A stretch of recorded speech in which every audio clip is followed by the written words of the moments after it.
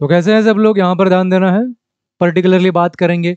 Basic mathematics M one first year first semester diploma in engineering M S B T की specially बात कर रहे हैं। बराबर? तो फ़र्स्ट सेमेस्टर में आपको सब्जेक्ट है बेसिक मैथमेटिक्स के स्कीम अभी जो करंट वाला हमारा स्कीम चल रहा है। बराबर? सेमेस्टर वन सो इसका पढ़ाई कैसे करना है? अभी यूनिट टेस्ट आने वाला है। यूनिट टेस्ट वन होगा टू होगा, फिर फाइनल एग्ज़ाम होगा। बराबर? और फ़र्स्ट सेमेस्टर में डिफ़िकल्ट माना जाने वाला सब्जेक्ट है तो टॉप पे यही है डिफ़िकल्ट कैसे कर देंगे? सर डिफ़िकल्ट कैसे समझते हो आप? मतलब कैसे पता चला आपको डिफ़िकल्ट नहीं, जिसका रिज़ल्ट कंपेरेटिवली अदर सब्जेक्ट से अच्छा नहीं लगता है, उसको हम डिफ़िकल्ट मानेंगे। सिंपल है। तो इसका एक स्टडी स्ट्रैटेजी कैसे करेंगे ताकि आपको डिफ़िकल्ट ना जाए और जितना डिफ़िकल्ट है, उतना आसान भी है। हाँ हाँ यही फैक्ट है, क्योंकि इसमें स्कोरिंग जितना होता है, बाकी सब्जेक्ट में नहीं होता। बराबर थियोरटिकल सब्जेक्ट में इतना स्कोरिंग नहीं होता, इसमें सबसे ज़्यादा स्कोरिंग हो सकता है बराबर एक बार आपको समझ में आ गया तो आ गया, बात खत्म, ठीक है? तो इसका पढ़ाई कैसे करना है एग्जैक्टली ताकि आपको सारे exams unit test one two final exam वो सब कुछ आसान जाए, बराबर? तो स्पेसिफिकली अभी यूनिट टेस्ट की बगैर बात करते हैं। तो यहाँ पर देखो, मैं आपको एक सिलेबस थोड़ा ओवरव्यू दिखाता हूँ। तो फ़र्स्ट यूनिट है हमारे यहाँ पर अलजेब्रा जिसमें आपका डिटर्मिनेंट्स जिसमें लॉगरिदम है सॉरी लॉगरिदम मैट्राइसिस बराबर आपका पार्शियल फ्रैक्शन वेरी इंपॉर्टेंट ये चैप्टर है इसमें। उसके बाद ट्रिग्नोमेट्री ट्रिग्नोमेट्री में फिर एलाइड एंगल्स बराबर मल्टीपल एंगल्स उसके बाद अपना इनवर्स ट्रिग्नोमेट्री भी है उसमें तो इसमें आपको कितना पढ़ाया है अभी स्पेसिफिकली यूनिट टेस्ट वन की बात करें तो आपको कितना पढ़ाया है कॉलेज में? आपके सब्जेक्ट टीचर ने? उसके हिसाब से वो अपना यूनिट टेस्ट प्लान करेंगे उसके हिसाब से बनाएँगे आ, पेपर जो भी होगा आपका। लेकिन जो भी हो हो सकता है कई कॉलेजेस में अलजेब्रा पूरा ख़त्म हो गया हो मतलब लॉगरिदम हो मेट्राइसिस हो पार्शियल फ्रैक्शन हो या फिर हो सकता है इसके ऊपर कई कॉलेजेस में ट्रिग्नोमेट्री का भी पार्ट आ सकता है पूरा ट्रिग्नोमेट्री मुझे नहीं लगता ट्रिग्नोमेट्री के आगे होगा क्योंकि इतना सारा कवर करना इतनी सम, कम समय में मुश्किल है है ना?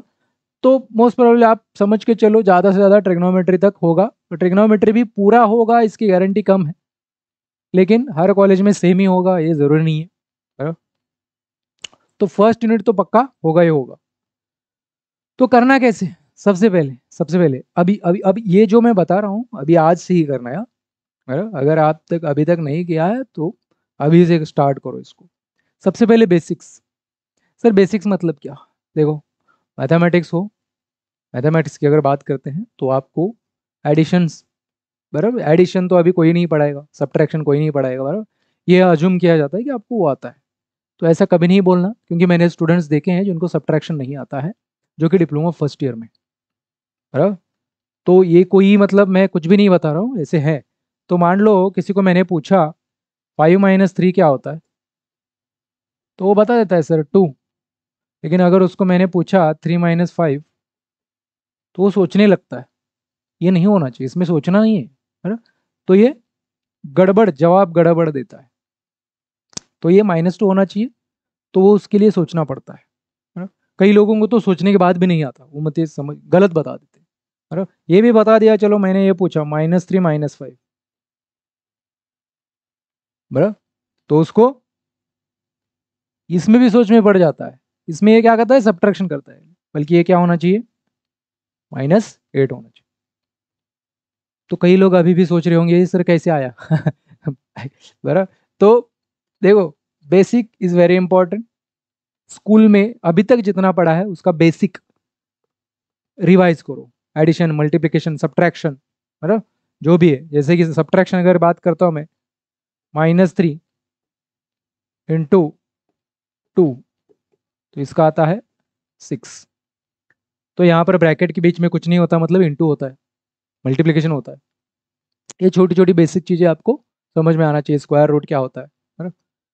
क्यूब रूट क्या होता है स्क्वायर क्या होता है क्यूब क्या होता है छोटी छोटी चीज़। दो अगर डिवाइड है, अगर मैं ऐसे करता हूँ two by three plus four by five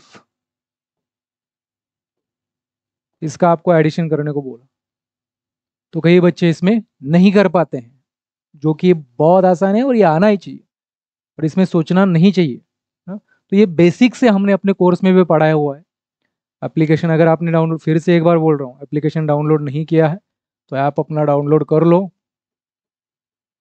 और कोर्स में एनरोल कर लो हाँ? देर ना हो जाए देर ना हो जाए मतलब क्या आप एग्ज़ाम के पहले मैं जानता हूँ, एग्ज़ाम के पहले आप आओगे, फिर आप, अभी तो आपको कुछ नहीं है। फिर एग्ज़ाम जैसे ही नज़दीक आते आपको समझ में आ रही मेरा तो कुछ नहीं हुआ। तो चलो फटाफट ऐप ओपन करते खरात अकेडमी यहाँ पर जाते एप्लीकेशन में जाएँगे, फिर कोर्स में एनरोल करेंगे, फिर पढ़ाई चलोगे नहीं। इतना देर क्यों लगा ना भाई? तब करेगा, मैं जानता हूँ। एग्ज़ाम के पहले इतने सारे बच्चे जग जाते हैं। हर साल की मैं बात कर रहा हूँ, हर साल यही होता है। पहले पहले करो अच्छे से करो बराबर? स्टार्ट से करो। एक ना एक दिन आपको करना है करोगे मैं जानता हूँ लेकिन आपका सबसे ज़्यादा फ़ायदा तभी होगा जब आप स्टार्ट से करोगे पढ़ाई शुरू ठीक है? सो so, दूसरा है हमारा अवॉइड टॉपिक्स अवॉइड टॉपिक्स मतलब क्या बोल रहे हो सर मतलब वही पढ़ना है जो एग्ज़ाम ओरिएंटेड पढ़ाई करनी है ना हमको बराबर? वही पढ़ना है जो ज़रूरी है। क्योंकि अगर आप बुक में जाके देखोगे तो हो सकता है कई सारे टॉपिक्स जो ज़रूरी नहीं है, वो वहाँ पर होते हैं, जिनमें हमें टाइम वेस्ट नहीं करना है। तो फिर से बता दो हमारा कोर्स उसी तरीके से डिज़ाइंड है एप्लीकेशन में, और वो है एग्ज़ाम ओरिएंटेड एग्ज़ाम आपका जो एग्ज़ाम है यूनिट टेस्ट हो unit test one two final exam board इसको ध्यान में रख के बनाए हो। तो वो चीज़ें नहीं पढ़नी है जो ज़रूरत नहीं है क्वेश्चन तकलीफ़ क्या आती है बच्चों को ज़्यादातर? क्वेश्चन का मीनिंग समझ में नहीं आता। मतलब कुछ टॉपिक्स में ऐसे क्वेश्चन होते हैं जो लंबा लंबा पढ़ना पड़ता है उसमें बराबर दो तीन लाइन के क्वेश्चन होते हैं। ऐसा दिया है तो ऐसा होता है तो ये है तो क्या करो, वो करो। तो बच्चा तो उसका रीज़न क्या होता है? इंग्लिश बेसिक इंग्लिश बच्चे को नहीं आता है। तो हमने जहाँ जहाँ ज़रूरी है, वहाँ पर बताया हुआ है कि भाई, ये देख ऐसे समझना है इसको। ये लंबा वाले क्वेश्चन जो भी है छोटे छोटे क्वेश्चन में भी बच्चे गलती करते हैं समझने में। उनको दिया होता है अलग, वो समझ लेते हैं अलग। है ना? तो ये चीज़ें नहीं होनी चाहिए बराबर उसके बाद मतलब ये बहुत इंपॉर्टेंट है। क्वेश्चन समझ में आना वेरी इंपॉर्टेंट उसके बाद फॉर्मूलाज कुछ चैप्टर में कम फॉर्मूलीज है, कुछ चैप्टर में बहुत ज़्यादा फॉर्मूला तो उसको किस तरीके से ध्यान में रखना है? बराबर? बहुत सारे फॉर्मूलीज ट्रिक से बन जाते हैं। ट्रिक ध्यान में रखो एक फॉर्मूला आपकी याद में रहेगा बराबर? तो वो भी आ, आपको अच्छे से पढ़ना है। कैसे ट्रिक्स अप्लाई करने हैं? किस तरीके से आपको ध्यान में रखना है? जो ज़रूरी नहीं है फॉर्मूला वो उसको उसकी तरफ़ नहीं जाना है। जितने ज़रूरी हैं फॉर्मूले उतने ही करने हैं। बराबर? तो और फॉर्मूले का सीक्वेंस कैसा होना चाहिए? कोई भी फॉर्मूला पहले नहीं लेना है। एक एक फॉर्मूला पहले ये करना है, फिर एक करना है, फिर और फॉर्मूले वो कैसे बने हैं, वो शॉर्ट में समझ लेंगे तो आपको आसानी से ध्यान में रहेगा। बराबर? बहुत ज़्यादा चीज़ें होती है जो कम समय में, कम मेहनत में ज़्यादा समय तक ध्यान में रहेगा। मतलब परमानेंटली ध्यान में रहेगा, ज़्यादा पढ़ाई होगा। इस तरीके से कोर्स में दिया हुआ है। आप जो बच्चे ऑलरेडी पढ़ रहे हैं, उनको ऑलरेडी पता है। प्रैक्टिस आफ्टर ऑल यार, आपको तो पता है। प्रैक्टिस इज़ वेरी इंपॉर्टेंट लेकिन प्रैक्टिस करते वक्त भी किस तरीके से प्रैक्टिस करना है, ये भी इंपॉर्टेंट है।